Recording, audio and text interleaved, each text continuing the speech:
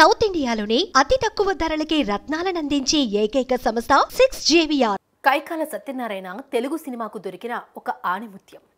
సిపాయి కూతురు సినిమాతో చిత్రసీమలో అడుగుపెట్టి పౌరాణిక జానపద చారిత్రక హాస్యరస చిత్రాల్లో నటించి యముడిగా దుర్యోధనుడిగా రావణుడిగా ప్రేక్షకులకు కనువిందు చేశాడు.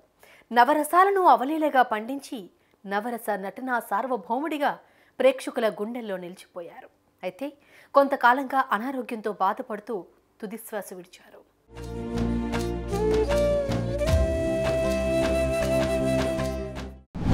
కైకాల మంచి భోజన ప్రియుడు. అందులో ఆయనకు నాన్ వెజ్ అంటే మహా ఇష్టం. మటన్ చికెన్ ఫిష్ ఉప్పు చేప పులుసు నాటుకోడి పులుసు అస్సలు వదలరు. ఈ విషయాన్ని ఆయన పలు ఇంటర్వ్యూలలో బయటపెట్టారు. ఆయనతో మంచి అనుబంధం ఉన్న మెగాస్టార్ చిరంజీవి కూడా ఈ విషయాన్ని తెలిపారు. కైకాల మేకను కోస్తే పాకిస్తాన్కైనా వెళ్తారని నాటుకోడి కోసం పెషావర్కైనా పోతారని ఒక టీవీ ప్రోగ్రాంలో ఆలీ ఆట పట్టించడం చూస్తే ఆయన ఎంత నాన్ వెజ్ ప్రియులో తెలిసిపోతుంది.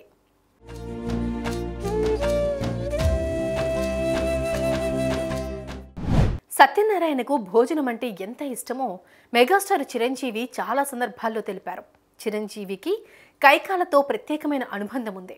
కైకాల చిరంజీవిని తమ్ముడు అంటూ తోడబుట్టిన అన్నలా ఆప్యాయంగా పలకరించేవారు. కన్ను మూసిన కైకాలను సందర్శించడానికి వెళ్ళిన చిరంజీవి ఆయనతో తనకున్న మధుర జ్ఞాపకాలను ఆయన అభిరుచులను స్మరించుకున్నారు. ఈ సందర్భంగా కైకాలకు ఇష్టమైన భోజనం గురించి చిరంజీవి మాట్లాడారు.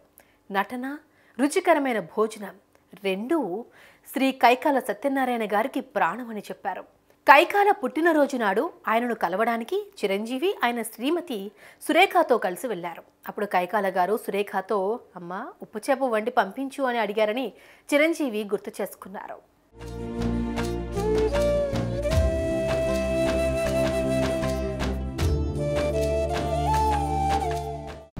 కైకాలకు భోజనం అంటే ఎంత ఇష్టమో చిరంజీవికి తెలుసు. కానీ ఆయన అనారోగ్యంతో బాధపడుతూ ఉండడంతో మీరు త్వరగా కోలుకోండి. ఉప్పు చేపతో మంచి భోజనం చేద్దామని చిరంజీవి కైకాలకు మాటిచ్చారు. అప్పుడు ఆయన చిన్నపిల్లాడిలా సంతోషపడ్డారని చిరంజీవి చెప్పారు. మళ్ళీ వెళ్ళి ఆయనను కలుద్దాం అనుకున్నామని కానీ ఈలోపే ఆయన కన్ను మూశారని చిరంజీవి ఆవేదనకు గురయ్యారు.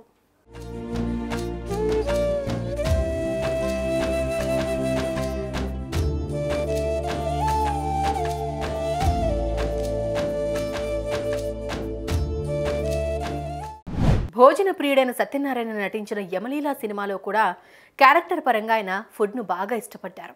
ఆయన క్యారెక్టర్ యమధర్మరాజు అయినప్పటికీ అందులో ఐస్ క్రీమ్ను ఇష్టపడే ఒక కామెడీ రోల్ కూడా యముడి క్యారెక్టర్కు కల్పేశారు. భవిష్యవాణి కోసం దివి నుండి భువికి దిగి వచ్చిన యమధర్మరాజు భూమిపై ఐస్ క్రీమ్ రుచి చూస్తాడు. అంతే ఆయనకు ఐస్ క్రీమ్ తెగ నచ్చేస్తుంది. ఆయన భాషలో వాటిని హిమక్రీములు అంటూ తెగ లాగించేస్తాడు. చిన్న పిల్లవాడిలా హిమక్రీములు కావాలంటూ మారం చేస్తాడు.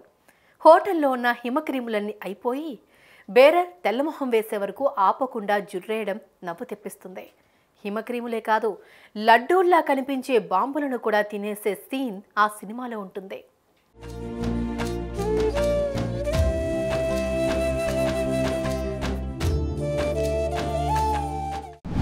నాన్ వెజ్ను అమితంగా ఇష్టపడే సత్యనారాయణ ఎనభై ఏడేళ్ళ వయసు వరకు అంత స్ట్రాంగ్గా ఉండడానికి కారణం ఒకటి ఫుడ్ అయితే మరొకటి సంతోషం అంటారు.